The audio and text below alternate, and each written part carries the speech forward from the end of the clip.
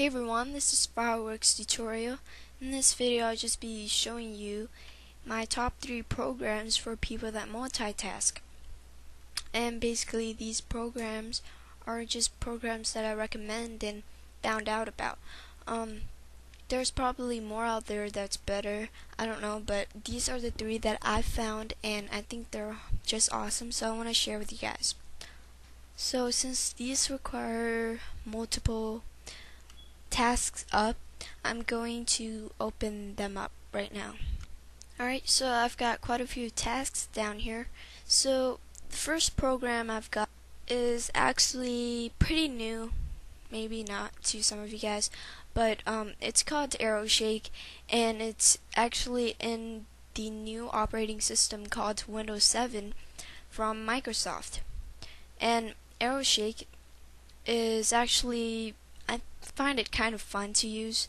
So basically I'm going to load up all these programs and with AeroShake I can take I can minimize all of these programs onto my taskbar and, and show my desktop. And first of all, I just take any one of my tasks. So basically, if I want to take Firefox, and I can start basically I can start shaking it.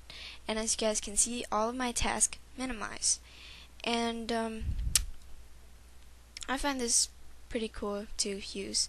So yeah um, this program I don't recommend it for people with slow computers.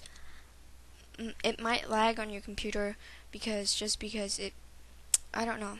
It seems like it it's the type of program that would make your computer lag but it all depends on you guys if you guys want to use that.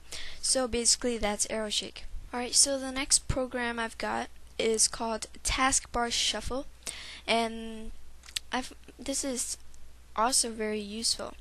So for example if I've got all these tasks down here and what I can do is what I want to do is I want to kind of organize them. So for example if I want Firefox, my two internet browsers, Firefox and Safari, to be next to each other so I can easily open them up. What I can do is with taskbar shuffle loaded up on my computer, what I can do is I just click and drag it next to Firefox and let it go. So basically, you just click, drag, and drop it. It's pretty simple. And for example, if I want Microsoft Paint with Windows Movie Maker.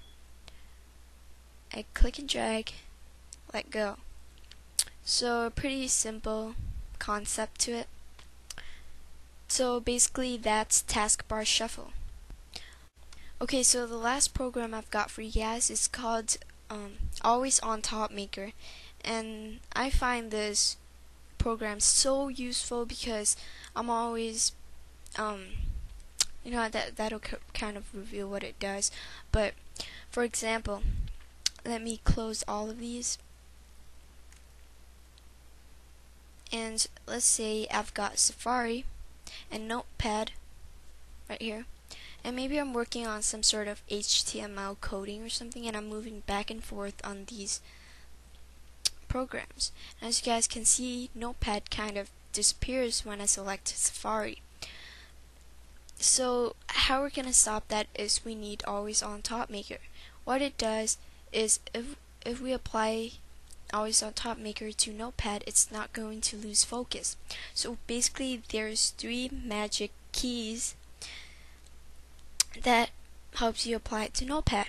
So the first one is control, alt, and T on your keyboard. So it's CTRL, ALT, and T on your keyboard. So if I click those three keys, you hear this dingy sound if you're on Vista, and um, that means it's applied. And if I go back to Safari, as you guys can see, Notepad is still right there, because I've applied Always on Top Maker.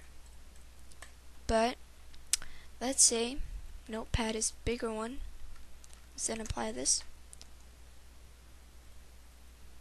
And Safari is a smaller one.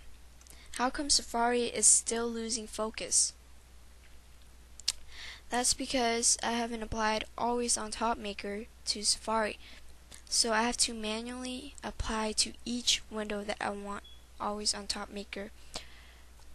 I want to have always on top maker applied to, if that makes sense. But um, just click Control Alt T on your keyboard when Google or Safari is selected. As you guys can see, it's applied. And um, so that's always on top maker. Hope you guys enjoyed these three programs I've got for you guys. Hopefully they helped you guys out a bit. And so basically that's it. Um, if you guys want to check out my website and request tutorials, go to fireworkstutorial.co.cc. If you guys want to get updated with what I'm doing, go to make sure to check out twitter.com slash fireworkstut and um, follow me on Twitter. Thanks you guys for watching this video and I'll see you guys next time. Also guys, if you guys were just wondering on always on top maker and um, how you, you can't remove it, Here's the thing, you click Control Alt and Delete on your keyboard to bring up the Task Manager. If you're on Vista, another window should pop up. Just click Start Task Manager, and a window like this should pop up if you're just on XP. Basically, just um, make sure to highlight Always on Top Maker right here, and click End Process, and that should end the process of Always on Top Maker. And if you're on AeroShake or Taskbar Shell, just right click and click exit on your tray icon. So pretty much that's very simple if you guys were wondering how to kind of exit those programs. Alright guys, hope you guys enjoyed this video.